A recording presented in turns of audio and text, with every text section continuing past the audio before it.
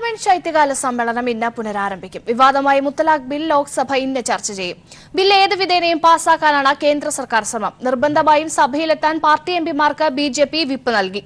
Bill Lok Sabha കടക്കുമെങ്കിലും N D എക്ക് ഭൂരിപക്ഷം ഇല്ലാത്തതിനാൽ രാജ്യസഭ കടക്കില്ല. ബില്ലിന്മേൽ ചർച്ചയാകാമെന്നാണ് പ്രതിപക്ഷ പാർട്ടികളുടെ നിലപാട്. അതേസമയം കമ്പ്യൂട്ടറുകൾ നിരീക്ഷിക്കാനുള്ള ഉത്തരവ് ഐ ടി നിയമ ഭേദഗതി റാഫേൽ കേസിലെ വിവാദ സുപ്രീം കോടതി വിധി തുടങ്ങിയ വിഷയങ്ങളിൽ പാർലമെന്റ് പ്രക്ഷുബ്ധമാകും. മുത്തലാഖ് ക്രിമിനൽ കുറ്റമാക്കുന്ന ബിൽ ലോക്സഭ മുൻപ് പാസാക്കിയിരുന്നെങ്കിലും രാജ്യസഭയിൽ പാസാക്കാൻ സാധിച്ചിരുന്നില്ല. തുടർന്ന് മുത്തലാഖ് ക്രിമിനൽ കുറ്റമാക്കി കേന്ദ്ര സർക്കാർ ഓർഡിനൻസ് ഇറക്കുകയായിരുന്നു. മുൻപ് പാസാക്കിയ ബിൽ പുതിയ ഭേദഗതികളോടെ ഡിസംബർ പതിനേഴിന് കേന്ദ്ര നിയമമന്ത്രി രവിശങ്കർ പ്രസാദ് ലോക്സഭയിൽ അവതരിപ്പിച്ചിരുന്നു. ഈ ബില്ലാണ് സഭ ചർച്ച ചെയ്യുന്നത്. മുത്തലാഖ് ക്രിമിനൽ കുറ്റമാക്കുന്ന ബില്ലിൽ മൂന്ന് വർഷം തടവിനും വ്യവസ്ഥയുണ്ട്. ഏത് വിധേനയും ബിൽ പാസാക്കാനാണ് കേന്ദ്ര സർക്കാർ നീക്കം. ബില്ലിനെതിരെ പല മുസ്ലിം സംഘടനകളും രംഗത്തുണ്ടെങ്കിലും ജീവനാംശം ഉറപ്പുവരുത്തുന്ന ബിൽ മറ്റൊരു തരത്തിൽ ഗുണമാകുമെന്ന് കേന്ദ്ര സർക്കാർ കരുതുന്നു. ബിൽ ചർച്ച ചെയ്യുന്നതിനാൽ നിർബന്ധമായും സഭയിലെത്താൻ എം പിമാർക്ക് ബി വിപ്പ് നൽകി. ബില്ലിൽ ചർച്ചയാകാമെന്നാണ് പ്രതിപക്ഷ പാർട്ടികളുടെയും നിലപാട്. എന്നാൽ ബില്ലിനെ ടി ഡി പി എതിർക്കും.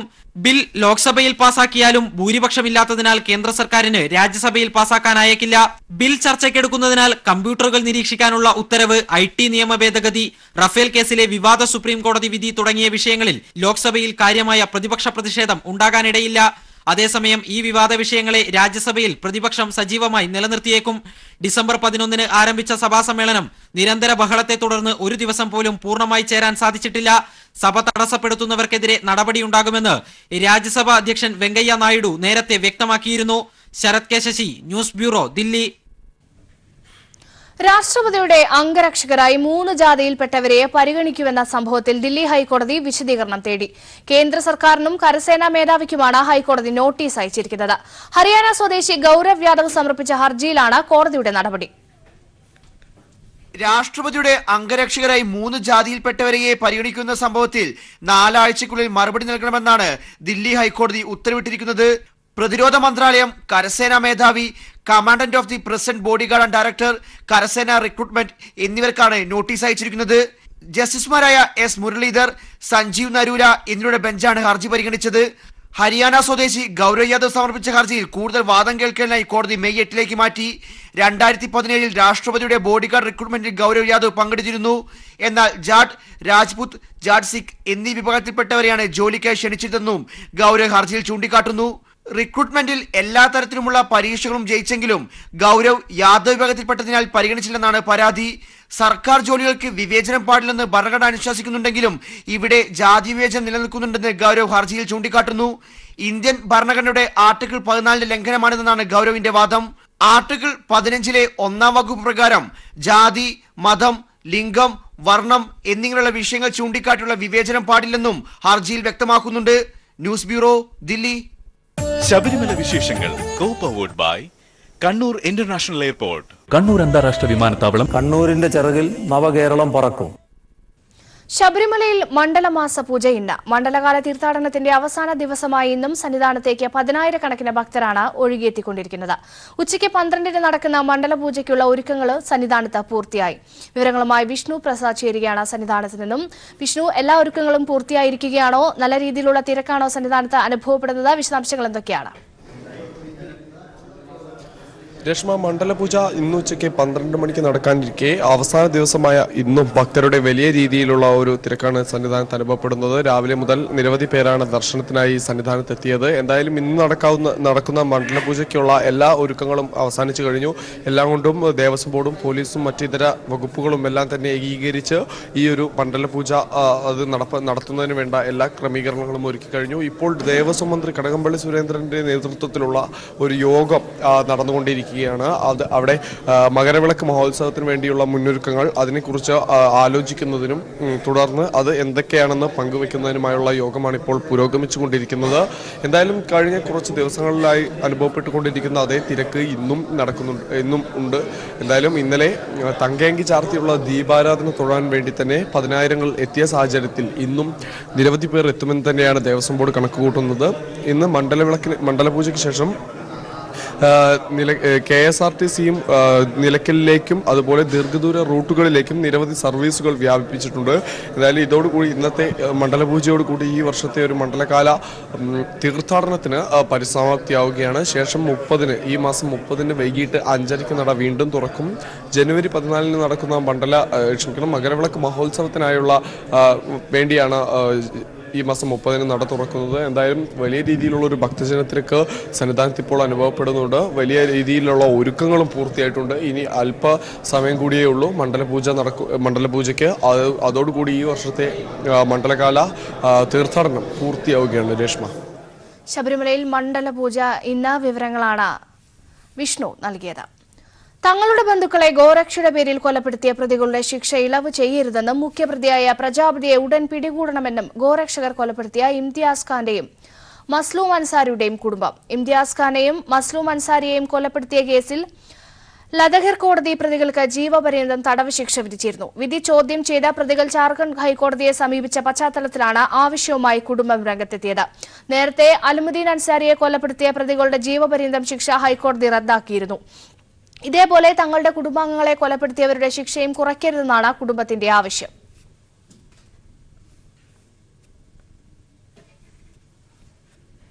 ജിഷ്ണു പ്രണോയ് കേസിൽ മാനേജ്മെന്റിനെതിരെ മൊഴി നൽകിയെന്ന് ആരോപിച്ച് നെഹ്റു കോളേജിൽ വിദ്യാർത്ഥികളെ പ്രാക്ടിക്കൽ പരീക്ഷയിൽ തോൽപ്പിച്ച സംഭവത്തിൽ വിദ്യാർത്ഥികളെ പരാജയപ്പെടുത്തിയത് കരുതിക്കൂട്ടിയാണെന്ന് ആരോഗ്യ സർവകലാശാല നിയോഗിച്ച അന്വേഷണ സമിതി കണ്ടെത്തി.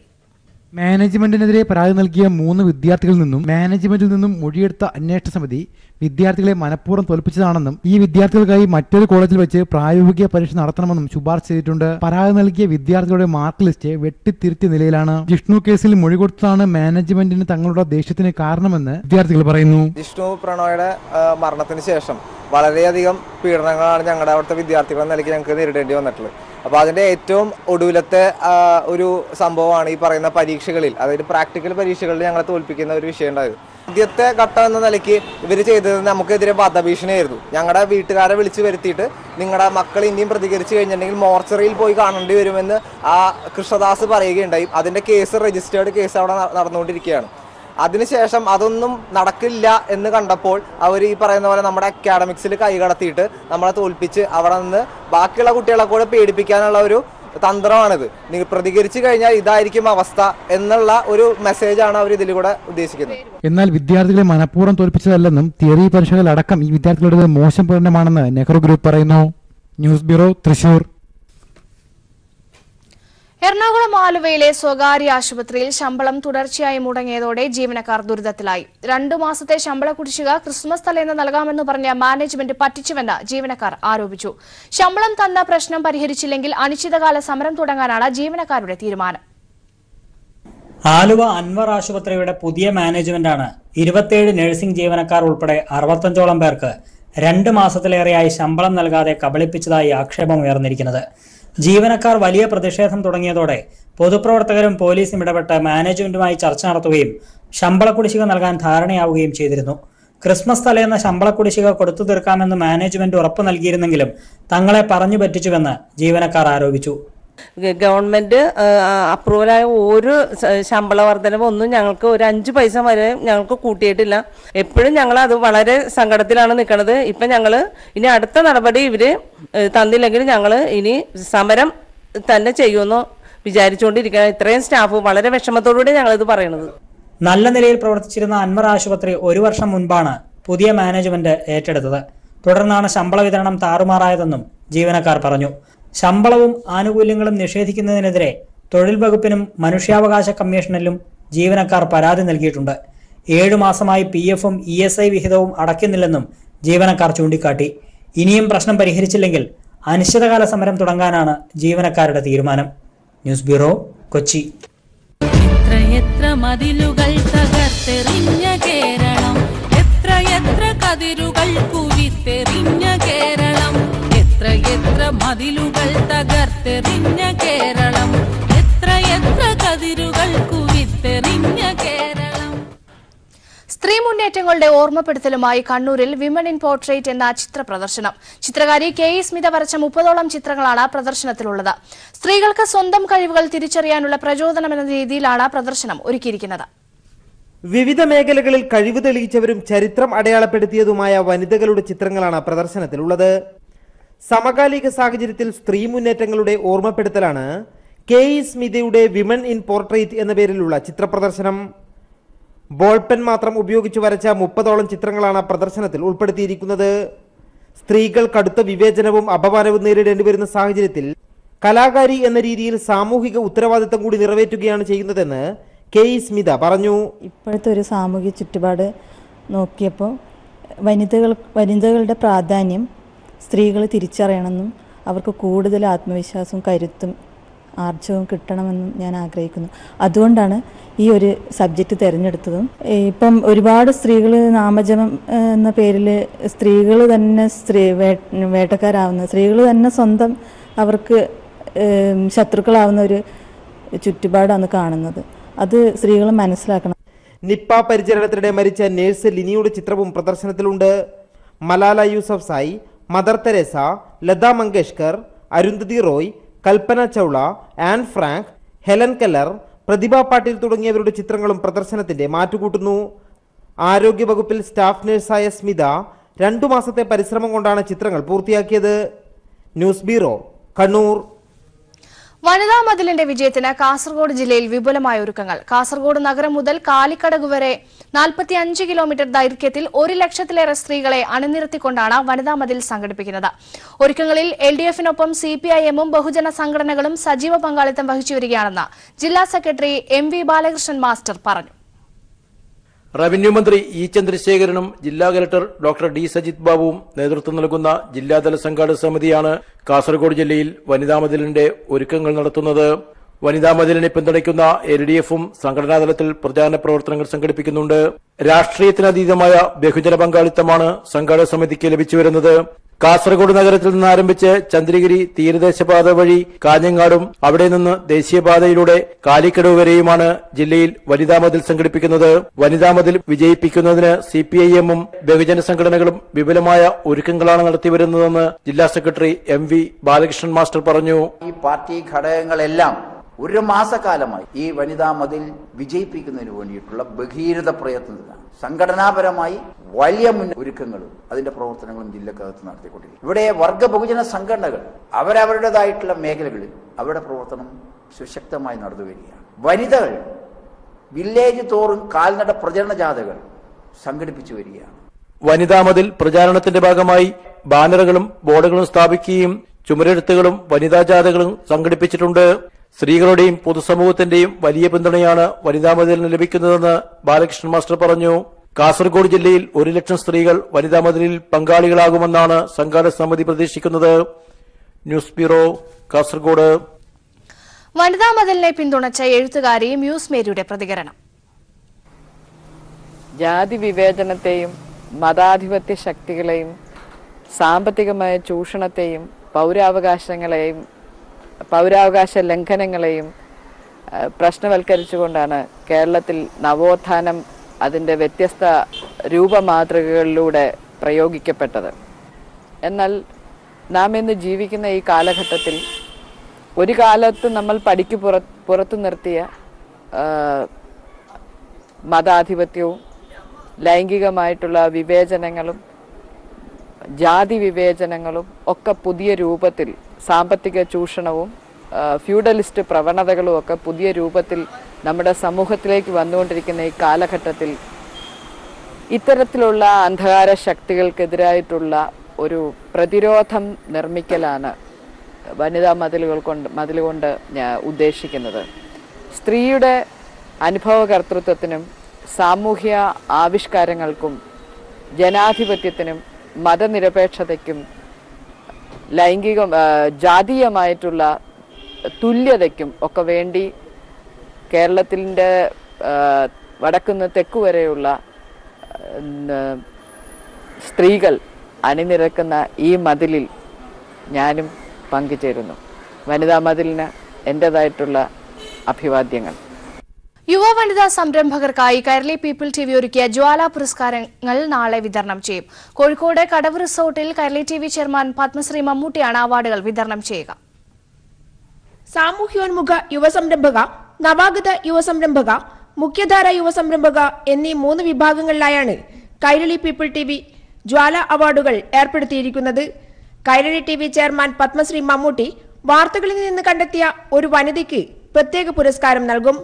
നാളെ വൈകുന്നേരം നാല് മുപ്പതിന് കോഴിക്കോട് കടവ് റിസോർട്ടിൽ മന്ത്രി ടി പി രാമകൃഷ്ണൻ അവാർഡ് വിതരണ ചടങ്ങ് ഉദ്ഘാടനം ചെയ്യും.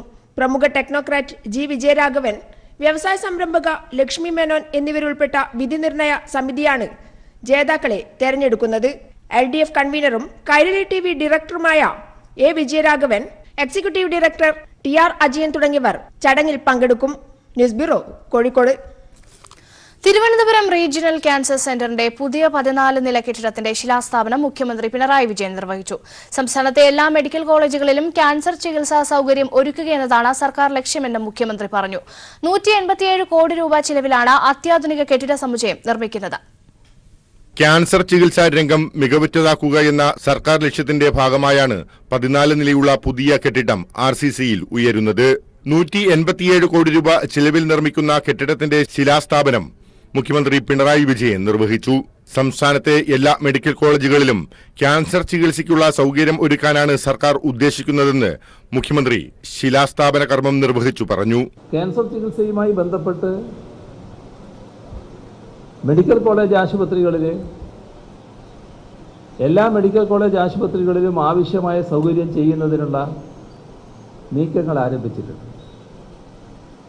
ആധുനിക ചികിത്സാ സൗകര്യങ്ങൾ മെഡിക്കൽ കോളേജ് ആശുപത്രികളിൽ ലഭ്യമാക്കാനാണ് ഉദ്ദേശിക്കുന്നത്. പൊതുവായി ആശുപത്രികളുടെ ശേഷി വർദ്ധിപ്പിക്കുന്ന നടപടികളും ഇതോടൊപ്പം സ്വീകരിക്കുക അതിന്റെ ഭാഗമായാണ് ജില്ലാ ആശുപത്രികളെ കാത്തലാബ് സൗകര്യവും മറ്റും ഒരുക്കിക്കൊണ്ട് ശാക്തീകരിക്കുന്ന നടപടികൾ സ്വീകരിക്കുന്നത്. പൂർണമായും സംസ്ഥാന സർക്കാരിന്റെ ചിലവിൽ നിർമ്മിക്കുന്ന കെട്ടിടത്തിന് രണ്ട് ലക്ഷത്തി എൺപത്തി ഒന്നായിരത്തി അറുന്നൂറ്റി എഴുപത്തിമൂന്ന് ചതുരശ്ര അടി വിസ്തീർണമുണ്ടാകും. പുതിയ ഇന്റൻസീവ് കെയർ യൂണിറ്റുകളും ഇരുന്നൂറ്റി അമ്പത് കിടക്കുകളും ഉൾപ്പെടെ അത്യാധുനിക സൗകര്യങ്ങളാകും ഉണ്ടാകുക. പുതിയ സൗകര്യങ്ങൾ വരുന്നതോടെ വിവിധ സേവനങ്ങൾക്കായുള്ള രോഗികളുടെ ദീർഘനേരത്തെ കാത്തിരിപ്പിനും വിരാമം ആകും. News bureau Thiruvananthapuram. കേരളത്തിന്റെ പ്രളയ ദുരിതാശ്വാസ നിധിയിലേക്ക് കേന്ദ്ര വിദ്യാലയ ജീവനക്കാർ അഞ്ചു കോടി നാൽപ്പത്തിയൊൻപത് ലക്ഷം രൂപ നൽകി. ജീവനക്കാരുടെ ഒരു ദിവസത്തെ ശമ്പളം പിരിച്ചാണ് തുക സ്വരൂപിച്ചത്.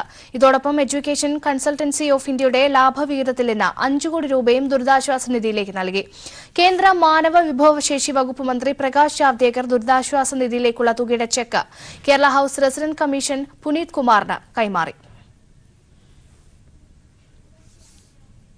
ഇന്ത്യൻ കലകളിൽ കുട്ടികൾക്ക് സൌജന്യ പരിശീലനവുമായി വയനാട്ടിൽ കുടുംബശ്രീയുടെ ലസിതം പദ്ധതി. ആദ്യഘട്ടത്തിൽ കണിയാമ്പറ്റ മോഡൽ റെസിഡൻഷ്യൽ സ്കൂളിൽ മുന്നൂറ്റി വിദ്യാർത്ഥികളാണ് പരിശീലനം നേടുന്നത്.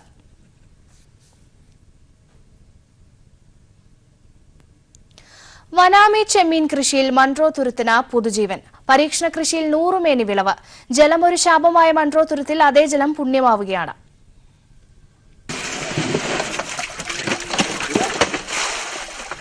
ഇതാണ് വനാമി ചെമ്മീൻ. മത്സ്യ കയറ്റുമതിക്കാരുടെ വജ്രമെന്നും വനാമിയെ വിളിക്കാം. നൂറ് ദിവസത്തെ കൃഷിയിലാണ് നൂറുമേനി വിളവ്. ആന്ധ്രയിൽ നിന്ന് എത്തിച്ച ചെമ്മീൻ വിത്ത് മൺട്രോത്തുരുത്തിലെ ഉപ്പുരസമുള്ള വെള്ളത്തിൽ നിക്ഷേപിച്ച് ഫിഷറീസ് വകുപ്പിന്റെ സഹായത്തോടെ നടത്തിയ പരീക്ഷണം മൂന്നാം ഘട്ടത്തിലും വിജയം കണ്ടു. യഥാർത്ഥത്തിൽ ഇതിപ്പോൾ നമ്മൾ ചെയ്യുന്നത് വനാമി എന്ന സ്പീഷ്യസ് ആണ്. അപ്പോൾ അത് നമ്മൾ കേരളത്തിലേക്ക് ഇപ്പം കൂടുതലും ആയി വരുന്നതേ ഉള്ളൂ. അപ്പോൾ അതിന്റെ ഒരു ഏറ്റവും ഇമ്പോർട്ടന്റ് എന്ന് വെച്ചാൽ ടെക്നോളജി ഒരു വലിയ ഘടകമാണ്. അപ്പോൾ അത് സാങ്കേതികമായിട്ട് ഒരു സപ്പോർട്ട് കിട്ടിയതുകൊണ്ട് മാത്രമാണ് നമുക്ക് കൃഷി നന്നായിട്ട് കൊണ്ടുപോകാൻ പറ്റുള്ളൂ. സക്സസ് തന്നെയാണ് ഹൺഡ്രഡ് പെർസെന്റേജ് വില? കഴിഞ്ഞ സീസണുകളിലെ കുറവായിരുന്നു. പക്ഷേ ഇപ്പം പിക്ക് വന്നിട്ടുണ്ട്. ഇപ്പം സാമാന്യ തിരക്കേടില്ലാത്ത രീതി ഈ ഒരു ഈ ഒരു റേറ്റ് മുന്നോട്ട് കൊണ്ടുപോകണമെന്നുണ്ടെങ്കിൽ നമുക്ക് വലിയ നഷ്ടമില്ലാത്ത രീതിയിൽ കൊണ്ടുപോകാൻ പറ്റും.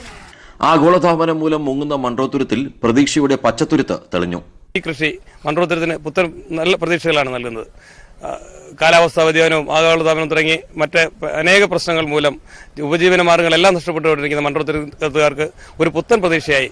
അത് ജലം കൊണ്ടുണ്ടാകുന്ന പ്രശ്നങ്ങളിലെ ജലത്തിന്റെ സാധ്യതകൾ ഉപയോഗപ്പെടുന്ന ഈ കൃഷി തീർച്ചയായിട്ടും മണ്ഡലത്തിന്റെ ഭാവി ശോഭനമാക്കുന്നതിൽ നിർണായക പങ്ക് വഹിക്കുന്നുള്ള കാര്യത്തിൽ തർക്കമില്ല. ഫംഗസ് രോഗത്തെ തുടർന്ന് മുമ്പ് ചെമ്മീൻ കൃഷിയിൽ പരാജയപ്പെട്ട കർഷകരിപ്പോൾ വനാമിയിലൂടെ പുതുപുത്തൻ കൃഷിരീതി സ്വീകരിച്ച് പ്രതിസന്ധികളെ മറികടന്നു. നാല് ഹെക്ടറിൽ മാത്രമായ വനാമി മത്സ്യകൃഷി മൺട്രോ തുരുത്താകെ വ്യാപിപ്പിക്കാൻ ഒരുങ്ങുകയാണ് തുരുത്ത് നിവാസികൾ. വിസ്മൃതിയിലേക്ക് പോകുമെന്ന് കരുതിയ രാജ്യത്തെ ആദ്യ ചെമ്പീൻ ഗ്രാമം വീണ്ടും സജീവമാവുകയാണ്. മൺട്രോത്തുരത്തിൽ നിന്ന് ക്യാമറമാൻ പ്രമോദ് പന്തിയോടിനൊപ്പം രാജ്കുമാർ.